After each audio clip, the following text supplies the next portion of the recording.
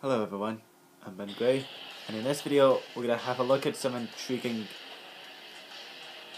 villains. Yeah. Yeah.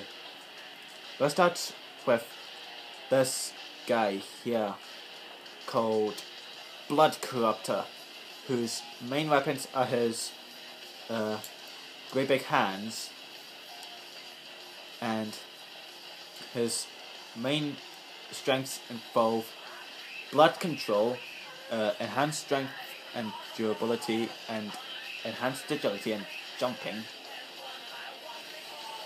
and blood absorption, and uh, night vision, as of his helmet, and his main weakness is if he his uh, blood was absorbed by anybody who matches his blood color, then he will spoil. Similar to uh, earth controlling creatures.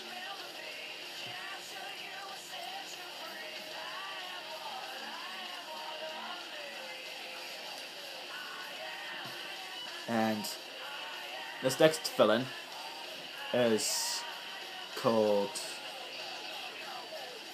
uh, King Underworld. Now his weapons are his uh, long claws, which remind some of you of Edward Scissorhands, and spike protection on his arms and hands, and he has uh, four heads, uh, but he's not to be confused with a Hydra. You always need to be confused with a Cerberus. And he has wings. And his main abilities are 999 quadrillion million times uh, stronger and Travis Omnipotence, yeah, making him the most powerful villain in the whole universe. Maybe dimension wise, as of his strengths.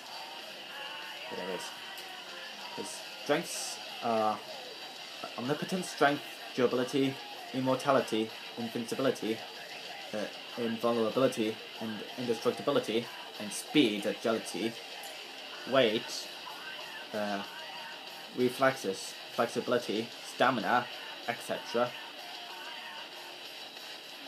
And uh, he has power bestowal, intangibility, elemental control, animal control, emotion control, color control, and he has various absorptions and, redi- and redirections, immunities, and mimicries and randomizations and generations and many other abilities in the description below. And he has no physical weakness at all. But uh, other than that, I'm Bishop Sky, I am out.